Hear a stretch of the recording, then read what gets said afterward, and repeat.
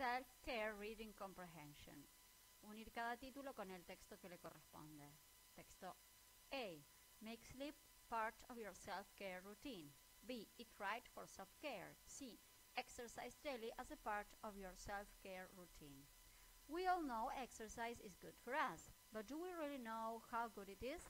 Daily exercise can help you both physically and mentally, boosting your mood and reducing stress and anxiety, not to mention helping you shed extra weight. The food we eat can, has the potential to either keep us healthy or contribute to weight gain or diseases such as diabetes, but it can also keep our minds working and alert. Eating the right food can help prevent short-term memory loss and inflammation, both of which can have long-term effects on the brain and, in turn, the rest of the body. Some of the most amazing self-care foods include fatty fish, blueberries, nuts, green leafy veggies, and brassicas like broccoli.